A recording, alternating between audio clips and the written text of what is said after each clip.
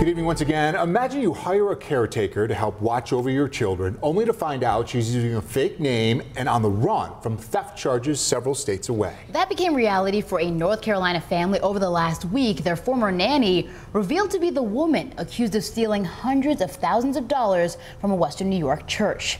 We first told you about Lisa Prin Noble on Friday. U.S. Marshals arrested her on a fugitive warrant in North Carolina, ending a six-month search. Noble is accused of stealing 400 $165,000 from St. Amelia Church in Tonawanda. Her lawyer told the Buffalo News last week that Noble intended to take a plea deal in November, but failed to show up at scheduled meetings and left town. We now know Noble spent the last few months in North Carolina nannying for a family in Raleigh.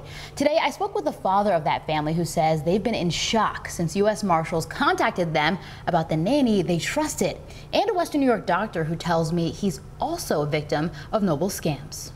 So you're living with the enemy, living with someone you don't know. We feel exposed. We feel like um, very vulnerable. The woman in charge of taking care of their children. Nope, this one, the one that you already put in your mouth once. Is now locked up. A fugitive U.S. Marshals have been looking for for the past six months. The Leochko family had just moved from southern Ontario to North Carolina and hired Lisa Prin Noble to be their nanny uh, we were desperate and uh, you know short notice wife traveling and me working uh, she came in one morning met all the kids and spent some time with us and it was an instant fit. Her being from buffalo i think the initial conversation with my wife it was nice because familiarity breeds comfort. Garrett and his wife leah found noble online going by the name julie wilson. She took care of their four children ages seven six four and two. So julie was responsible well Lisa, I guess. I don't know what her name is or who she is. He says she would take the children out in the Raleigh area all the time. I think having the kids was probably a good blanket or a good shield for her because probably weren't expecting her, if anyone had an eye out on her,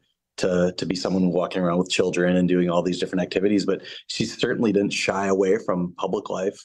She ever seem, you know, in need of money, that she really needed this job and she was really looking for cash?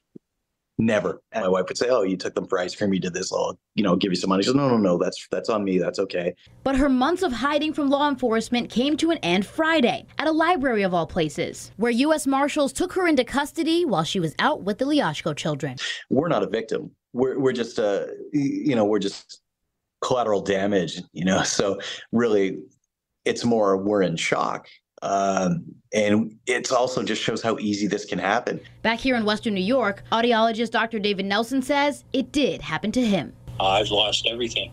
I talked to him on the phone. He tells me he hired Noble as a business manager for his company, Audiologist Service Associates. His girlfriend noticed something was off in 2022. I think she had it in her mind and in her understanding that things weren't right when we were doing certain types of vacation and Lisa Prin Noble was doing other kinds of vacations that were pretty elaborate. He looked into it and found some questionable checks on the books. How much money did she steal from you guys? It was well over 500,000, well over 500,000. Do you feel comfortable with her before you found everything out? So she was my best friend or so I thought. She was my best friend. He says he had to close his doors in Williamsville and instead of retiring, is now trying to piece things together. His message be careful who you trust. I don't think that any business owner should ever think of trust and placing trust first over making sure they qualify the individuals so that no one ever ends up like me. Yeah, really such a bizarre case. But I checked in with the U.S. Marshal and DA's office.